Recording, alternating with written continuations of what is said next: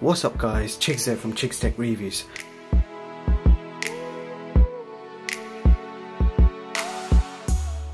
Today I've got my hands on the brand new Mecool K6 Hybrid. Now this is a brand new hybrid TV box featuring a built-in multi-TV tuner which includes DVB-T2, DVB-S2 and DVB-C.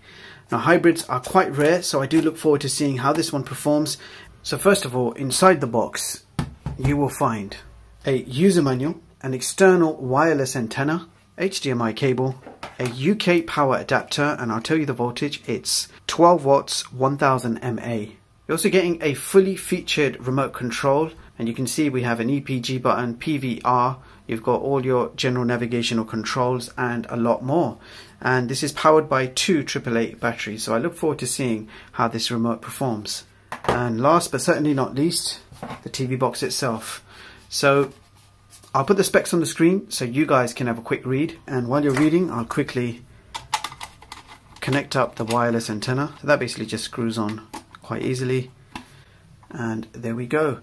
Now this is a hybrid Android TV box, so we do have a built-in multi-TV tuner and it supports DVB-T2, DVB-S2 and DVB-C. Now this is powered by the HiSilicon 3798M quad-core CPU and believe it or not, that CPU is actually by Huawei.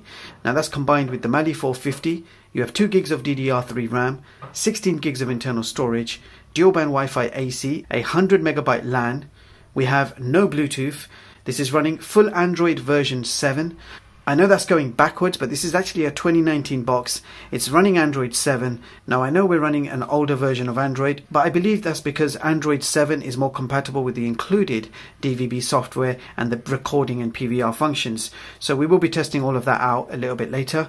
Now this does support 4K HDR at 60 frames per second. We have HDMI version 2.0 and supports 5.1 surround sound. Now at the front of the box we do have an LED display. On the side we have nothing, just a vent.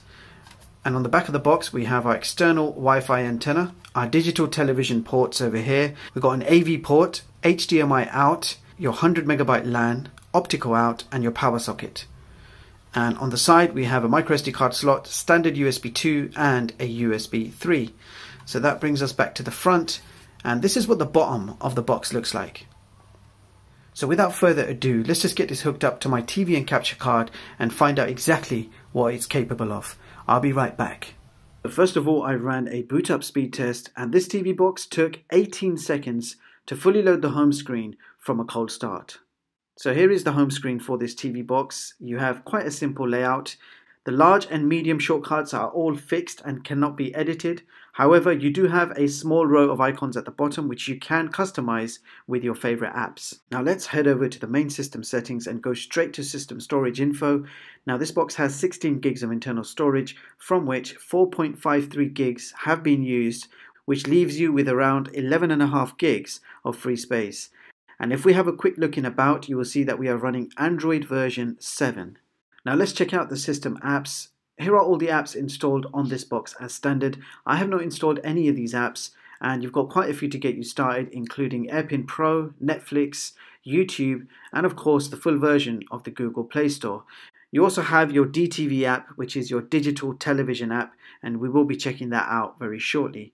Now first of all let's go ahead and test out some screen mirroring with AirPin Pro. So my iPad did connect immediately with no issues I am running the latest version of iOS 12 and you can see that screen mirroring is working absolutely fine with no lag whatsoever.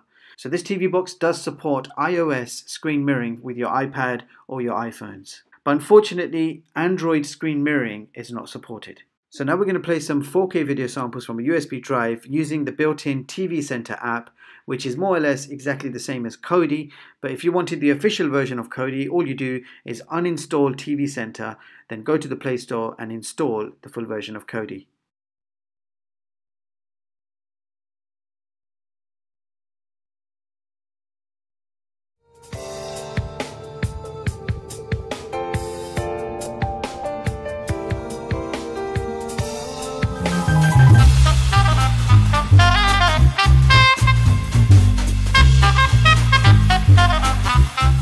Moving on now to the YouTube test and this TV box does support a maximum of 4K on YouTube and 4K at 60 frames per second streams very well, nice and smooth with a very few frame drops.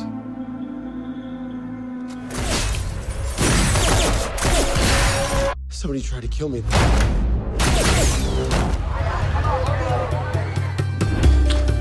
Bye. Goodbye. Now this TV box supports 480p streaming on Netflix and here is a quick clip. Both on land and beneath its warm, clear waters, it usually appears serene. And you also have a maximum of 480p streaming on Amazon Prime Video. James says we've got to stop the fuel. So moving on to the gaming test beginning with Asphalt 8.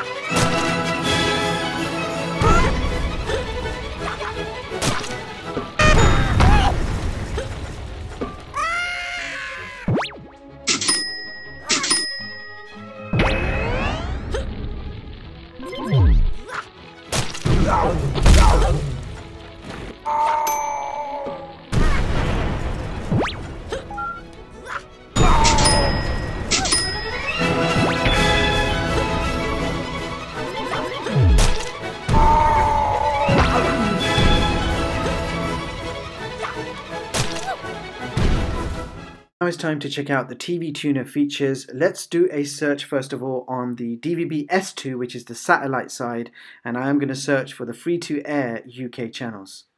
I think I've done this tour a couple of times before, show why. Iran says it violated Iranian airspace. Pop needle for counter cross stitch because your a comprehensive two-year career. Just the birds, as you can see here. So. So the channels do change quite smooth. You have a seven day EPG TV guide, which is quite useful. And generally you have a smooth navigation throughout. And generally you do have quite a smooth experience throughout. So now I'm actually setting up the DVB T2 side of things. So this time we are using a TV antenna as opposed to a satellite dish. And we are searching for the local UK Freeview channels. Liliana was sent. I'm sorry. I'm sorry. Is this Sanders sketchbook? Yeah. You know how you. Get him! Get him here fast! Clear out! Larger, come in the... Fantastic. Well, lovely to meet you. You too. Thank Good you very on, much. Hey, my day. Oh, it's so good. I'm just going to have another go. The crumble we've made. He asked. We'll make a trade.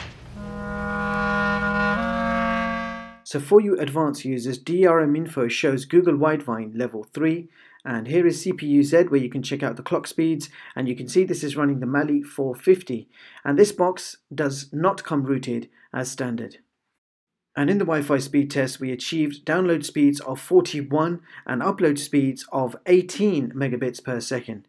And the current top speeds we are getting in this office is between 67 to 70 megabits per second. So that brings us to our benchmark scores beginning with Geekbench multi-score of 1497 and in the AnTuTu benchmark test we achieved 31k so let's see how that compares with the others.